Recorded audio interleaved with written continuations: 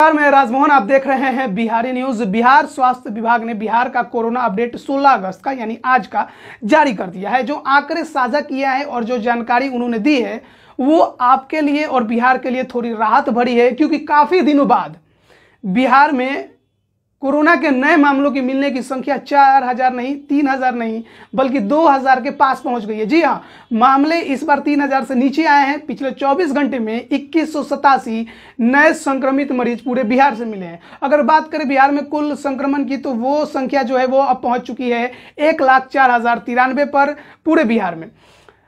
एक नज़र डाल लीजिए कि किस ज़िले से पिछले 24 घंटे में कितने संक्रमित मरीज़ मिले हैं उस पर। अररिया 19 अरवल 21 औरंगाबाद 113 बांका 19 बेगूसराय चौवन, भागलपुर 177 भोजपुर बावन, बक्सर 46 दरभंगा 35 ईस्ट चंपारण छियानवे, गया 15 गोपालगंज इकहत्तर, जमुई 28 जहानाबाद 28 कैमूर 6 कटिहार 13 खगड़िया 30 किशनगंज 13 लखीसराय 36 मधेपुरा 35 मधुबनी 127 मुंगेर पचास, मुजफ्फरपुर संतानवे नालंदा नब्बे, नवादा अट्ठारह पटना दो सौ तिरपन, पूर्णिया बेरासी, रोहतास पैंतीस, सहरसा संतानवे समस्तीपुर सैंतीस, सारण चौहत्तर, शेखपुरा तैंतीस, शिवहर सात, सीतामढ़ी अठहत्तर, सिवान अट्ठाईस, सुपौल चौंतीस, वैशाली, संतावन, वेस्ट चंपारण, इक्यासी। इस तरह पूरे बिहार में पिछले 24 घंटे में इक्कीस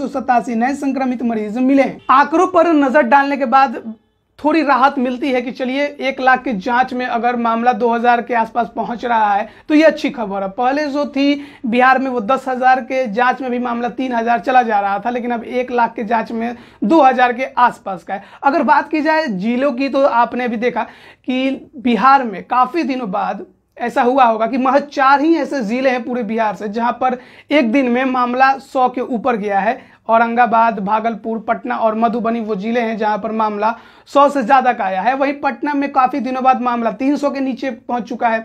वहीं दो ऐसे भी ज़िले हैं, कैमूर और शिवहर, जहाँ पर मामला दस से भी नीचे के आया है। वहीं चार ऐसे ज़िले हैं जहाँ मामला नब्बे से ज़्यादा का आया है। तो कहा जा सकता है कि बिहार में कोरोना अब नियंत्रण की स्थिति में धीरे धीरे जा रहा है, क्योंकि आंकड़ों में गिरावट दर्ज हो रही है। लेकिन विपक्ष के नेता तेजस्वी यादव का बयान कुछ अलग है। उन्होंने कल भी एक बयान ट्वीट किया था, जिसमें उन्होंने कहा था कि पहले बिहार में दस हज़ार जाँच हो रहे थे, उसमें भी मामले दो तीन हज़ार ही आ रहे थे और आज भी एक लाख जाँच हो रहा है, उसमें भी मामले दो तीन हज़ार आ रहे हैं। तो उनको रिपोर्ट पर जो आंकड़ा जारी किया जा रहा है, उस पर उनको शंका है और वे लगातार सवाल उठाते रहे हैं बिहार सरकार के आंकड़ों पर, बिहार स्वास्थ्य विभाग के जो कोरोना के आंकड़े जारी होते हैं, उस पर लगातार उन्होंने सवाल उठाए हैं।